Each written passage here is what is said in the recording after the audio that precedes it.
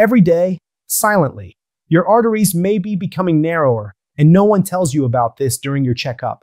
The cholesterol test may be done, the medication prescribed, but the conversation about inflammation, belly fat, insulin resistance, and lifestyle almost never happens.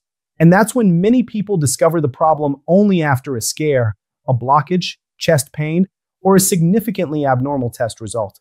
I am Edu Rodrigues, and today I want to show you five simple kitchen drinks that can help your body reduce inflammation, improve circulation, and protect your heart over time. It's not a miracle, not a magic recipe, and it doesn't replace medication or medical supervision. It's health education, understanding how small daily choices can change what's happening inside your arteries before symptoms appear. Many people believe that a clogged artery is just bad genetics, age, or bad luck. Of course, genetics matter, age matters. But there is one factor that is the main conductor behind all of this chronic inflammation. Inflammation in the vessel walls, fat inside the belly, high sugars circulating all day.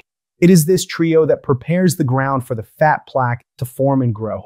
Therefore, when we talk about opening the arteries, it is not literally a drink melting fat inside.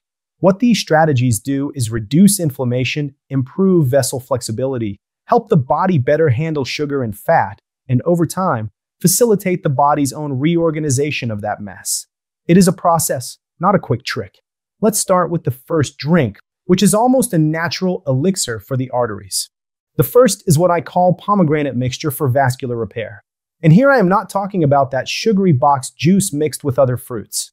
I am talking about pure pomegranate juice, without sugar, in small quantities, as part of a healthier whole day. Pomegranate is a very interesting fruit because it is rich in compounds that help combat oxidative stress, which is that internal rusting caused by excess sugar, bad fats, smoking, stress, and so on. These compounds help reduce the most aggressive form of oxidized cholesterol, which is the one that most damages the walls of blood vessels. At the same time, pomegranate promotes the production of a substance that your own body makes, and that is essential for the arteries, nitric oxide. It is this substance that signals the vessel to relax, open a little, and allow blood to flow more easily. Practically, what does this mean? A more flexible artery, better circulation, less pressure on the walls, less chance of forming cracks where the fat plaque tends to settle. In studies with real people, with plaques in the carotid artery, small daily amounts of pomegranate juice over several months helped improve the thickness of the vessel wall and some inflammation markers. How can you use this in everyday life? A simple way is to take a small cup of pure pomegranate juice, about half a cup of cream cheese, fill it with water, squeeze a little lemon, and if you want, add a tablespoon of good quality apple cider vinegar. Doing this before the first meal can help give a positive metabolic shock, especially if the rest of the day involves better choices. And of course, if you have diabetes, kidney problems, or are on medication, it's always worth talking to your doctor or nutritionist before adding anything new to your daily routine. The second drink will energize those who enjoy coffee. I know that many people wake up and go straight to the mug, sometimes along with bread, cake, or cookies. Today, I want you to start looking at this coffee differently.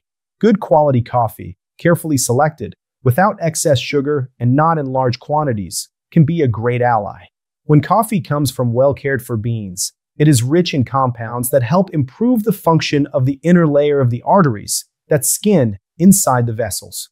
These compounds help increase the production of nitric oxide, may help reduce blood pressure in some people, improve insulin sensitivity, and in various studies, moderate consumption of good quality coffee has been associated with a lower risk of type 2 diabetes and some cardiovascular problems.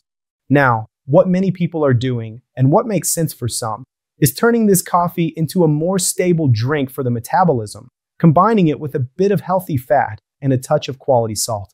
Instead of drinking coffee with white bread and margarine, for example, you can do the following a good brewed coffee without sugar, blended with a tablespoon of high quality extra virgin olive oil, a small tablespoon of pasture fed cow butter, and a pinch of more natural salt.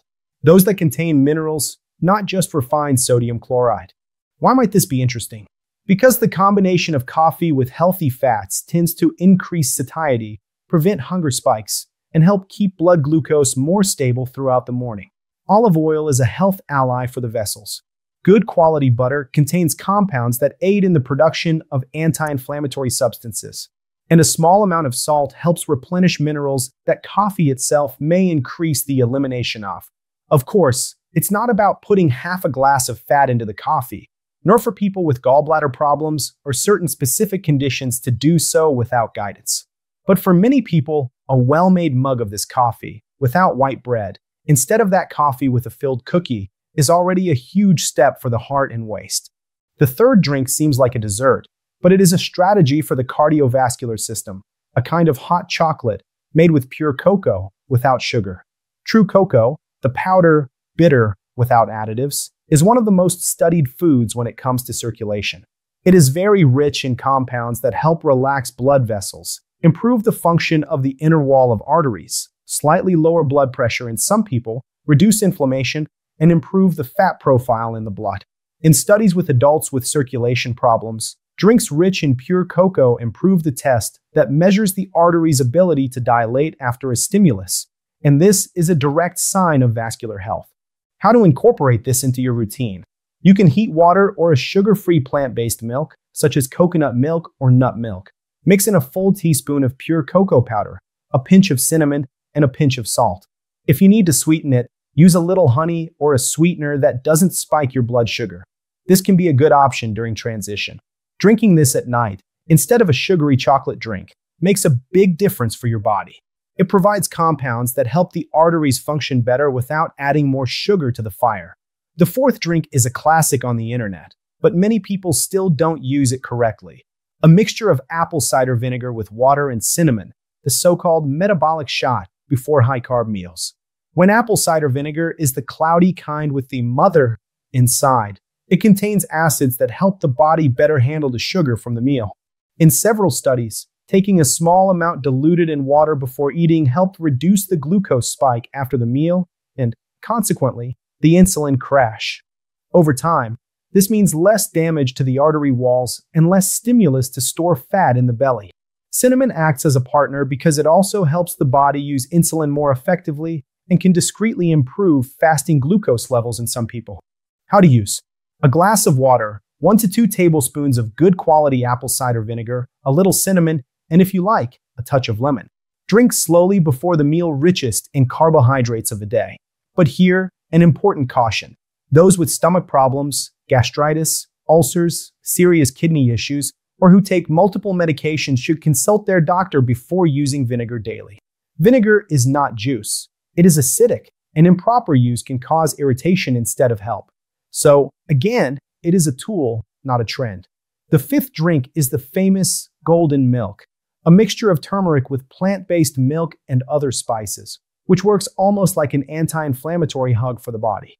Turmeric, that yellow powder widely used in Indian cuisine, contains an active substance that has been studied for years as one of the most potent allies against low grade chronic inflammation. When we combine turmeric with a pinch of black pepper and a little healthy fat, such as a tablespoon of good quality butter or olive oil, the absorption of this substance increases significantly. And then the body gains another resource to reduce inflammation markers, alleviate some joint pains in certain people, and additionally, protect the vessel walls. Less long term inflammation means fewer fissures, less chance of unstable plaque that could rupture. How to prepare? Warm a bit of coconut milk or another unsweetened plant based milk. Mix in half a teaspoon of turmeric powder, a pinch of black pepper, a little ginger powder, a bit of cinnamon, and if you like, a small tablespoon of good quality butter or olive oil. Mix well and drink at night, after the last meal, as if it were a relaxing beverage. Many people report sleeping better, feeling less pain, and waking up lighter. Now, let me give a very important warning. Nothing I have said here replaces prescribed medication, tests, consultations, or follow up with a cardiologist, general practitioner, endocrinologist, or nutritionist. These drinks are additional tools within a healthier lifestyle.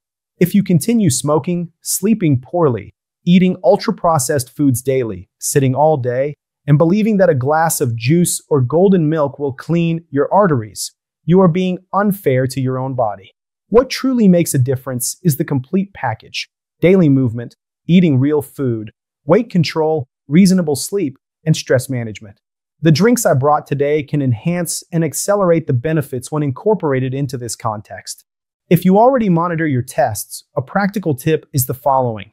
Talk to your doctor about these inflammation and metabolism markers. Ask about belly fat, fasting glucose, lipid profile, and blood pressure. Then choose one of these drinks to test for a few weeks, along with changes to your diet and routine, and then reassess. Don't treat blood tests on your own, okay?